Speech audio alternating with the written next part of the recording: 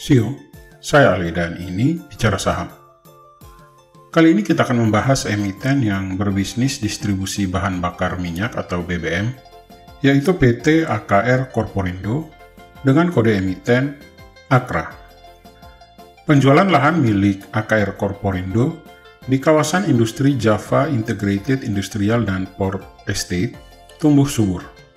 Sepanjang kuartal kedua tahun 2023, Akra berhasil menjual sekitar 17 hektar lahan di JIIPE pada kuartal pertama tahun 2023, Akra membukukan penjualan lahan seluas 19,6 hektar, sehingga jika diakumulasikan Akra telah menjual sekitar 36,6 hektar lahan di JIIPE sepanjang semester pertama 2023. Untuk tahun ini, Akra menargetkan penjualan lahan seluas 70 hektar sampai dengan 75 hektar. Ini berarti Realisasi penjualan lahan Akra per semester pertama 2023 sudah mencapai 49% sampai dengan 52% dari target yang dipasang. Target tersebut dipercaya dapat dicapai oleh Akra, ini mengingat permintaan cadangan lahan yang tinggi yang diproyeksikan lebih dari 543 hektar. Tingginya permintaan tersebut didukung oleh pengembangan ekosistem manufaktur di JIIPE yang terletak di lokasi yang strategis, serta statusnya sebagai kawasan ekonomi khusus atau KEK. E kawasan ekonomi khusus ini dapat menarik investor dari industri berat dan teknologi serta dari industri hilir mineral. Lalu, bagaimana kondisi fundamental Akra pada saat ini? Yuk kita review. Tetapi sebelum itu, ayo di like, share, dan subscribe sebagai bentuk apresiasi dan membantu perkembangan dari channel ini.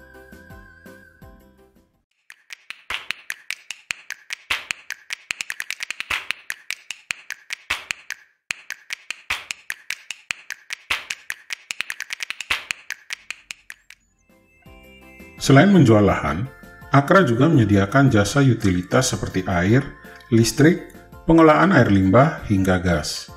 Pada kuartal pertama 2023, pendapatan dari penyediaan layanan utilitas menyumbang 1,4% dari total laba kotor dari Akra. Di sisi lain, secara historis volume penjualan bahan bakar minyak dari Akra pada semester pertama biasanya lebih rendah dibandingkan dengan semester kedua. Ini bukan tanpa alasan Pelemahan ini karena minimnya aktivitas penambangan akibat gangguan cuaca dan libur periode lebaran yang menyebabkan turunnya permintaan bahan bakar minyak. Namun demikian, dengan sedikitnya jumlah pemain di industri BBM, serta didukung oleh jaringan yang luas, Akra diekspektasikan dapat mempertahankan volume penjualan sekitar 240.000 kiloliter BBM per bulan. Sementara itu, Ketatnya supply membantu Akra untuk mempertahankan dan membukukan margin per liter yang relatif stabil secara kuartalan. Pada akhir dari bulan Mei, Akra telah mengoperasikan 41 gerai stasiun pengisian bahan bakar umum dan jumlah ini naik dari 36 outlet pada akhir tahun 2022.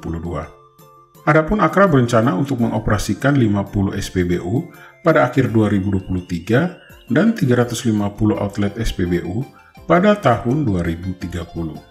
Hasil kinerja keuangan Akra pada kuartal kedua 2023 kemungkinan akan lebih rendah daripada kuartal pertama. Namun, pertumbuhan laba yang solid kemungkinan akan terlihat pada kuartal ketiga tahun 2023, terutama didorong oleh penjualan lahan. Ditambah, secara historis, aktivitas pertambangan dan industri secara umum memang cenderung meningkat pada paruh kedua. Tahun ini, Akra diperkirakan membukukan pendapatan senilai 42,5 triliun rupiah, dengan laba bersih sekitar 2,4 triliun rupiah. Di sisi lain, Akra sebagai perusahaan terkemuka di sektor energi dan logistik melaporkan kinerja keuangan yang cukup mengesankan pada kuartal pertama pada tahun ini. Dalam laporan keuangannya, perusahaan ini mencatat peningkatan signifikan dalam beberapa aspek penting serta menunjukkan pertumbuhan yang kuat dan stabilitas yang solid. Pendapatan perusahaan mengalami peningkatan yang mengesankan sebesar 7,5 persen, dari 10 triliun rupiah menjadi 10,8 triliun rupiah pada kuartal pertama tahun 2023. Sementara itu, laba kotor meningkat sebesar 331 miliar rupiah, mencapai angka 1 triliun rupiah yang mengesankan. Namun, peningkatan dari pendapatan ini diimbangi dengan peningkatan beban penjualan dan beban umum serta administrasi. Beban penjualan meningkat dari 15 miliar menjadi 21 miliar rupiah. Sedangkan, beban umum dan administrasi juga mengalami peningkatan yang signifikan dari 186 miliar menjadi 237 miliar rupiah. Meskipun begitu, laba perusahaan tetap menunjukkan pertumbuhan yang kuat. Laba usaha meningkat dari 540 miliar menjadi 800 miliar rupiah pada kuartal pertama di tahun ini. Hal ini juga tercermin pada laba yang dapat diatribusikan kepada pemilik entitas induk yang naik dari 427 miliar rupiah menjadi 607 miliar rupiah. Namun, laporan keuangan juga mencatat adanya penurunan pada aset perusahaan. Nilai aset pada AKR Korporindo menurun sebesar 3,3 triliun rupiah dari 27,1 triliun pada bulan Desember 2022 menjadi 23,8 triliun rupiah pada Maret 2023. Meskipun demikian, ekuitas perusahaan meningkat menjadi 13,8 triliun rupiah dari 13,1 triliun pada bulan Desember 2022. Ini menunjukkan stabilitas dan kekuatan modal yang solid. Perusahaan juga berhasil mengurangi liabilitasnya dari 14 triliun rupiah pada bulan Desember 2022 menjadi 10 triliun rupiah pada Maret 2023. Ini menunjukkan manajemen keuangan yang cermat dan berkelanjutan. Dalam laporan keuangannya, Akra juga mencatat penggunaan arus kas sebesar 2,2 triliun rupiah untuk kegiatan operasional sampai dengan akhir bulan Maret 2023. Sehingga terjadi penurunan nilai arus kas sebesar 2,4 triliun rupiah sampai dengan akhir Maret 2023. Perusahaan tetap menunjukkan stabilitas dan kesinambungan operasionalnya. Dengan kinerja keuangan yang kuat pada kuartal pertama di tahun ini, PT AKR Korporindo terus menunjukkan komitmen dan potensi untuk tumbuh di sektor energi dan logistik.